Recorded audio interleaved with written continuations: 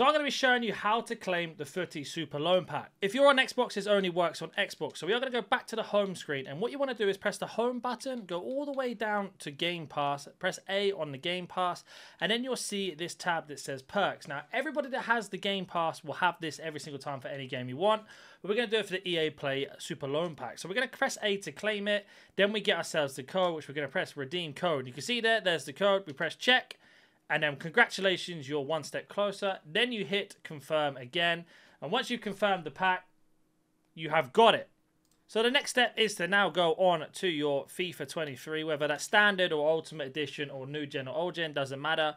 Once you load this up, it's going to give you the pack. I will show you where to go to after this, but this only works on Xbox. I don't know if PlayStation have it. You need to have the ultimate Game Pass or Game Pass in general, but you can cancel subscription and I'll show you how to do that at the end of the video. If you have any questions about this at any sort of moment, please comment down below and I'll get back to you as soon as I can.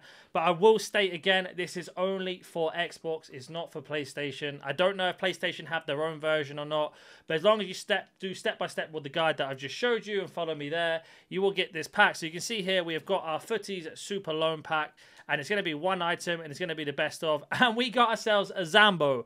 So you'll have to let me know whether you think it's worth it or not. In my opinion I don't think it's worth it at all. Now if you want to cancel your subscription so say you've just done that to get the loan and nothing else you can cancel and get your money back instantly. So I'm going to show you how to do that. So you want to press the home button again or if we go back to our console here and press quit back on the home bit just press the home button go over to where your profile name is you are then going to want to go to settings and then in settings you are going to see a subscription tag under the account. As you can see here, subscriptions. So when you go over to this here, it's going to take you to this menu. Now this menu is going to show you all the subscriptions you have. Now if you cancel this within the first 24 hours, you can see here it's charged to my PayPal account, which will be blurred out on the screen if it isn't already we can cancel this straight away. So we can go here, cancel subscription. So that you could turn off, we're going to go note, turn off billing. We're going to press yes, we are sure. And because we've done this within 24 hours, we're going to get ourselves a full refund, which I'll get a message into my account.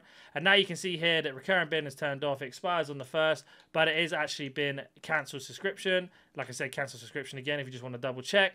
And as we go through this process now, it will be cancelled off as we wait for it to load.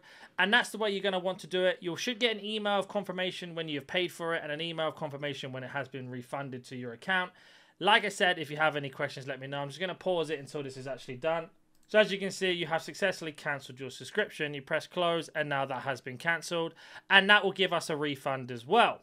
So I've a recording, I have just got the email. You probably won't be able to see it on the camera, but it has come through saying subscription has been cancelled just to prove to you that I have got my money back already. And it is simple as that. Let me know in the comment section down below who you managed to get in your super loan pack. Pretty much a bad deal in my opinion, unless you already have on my Team. And thank you very much for watching. See you.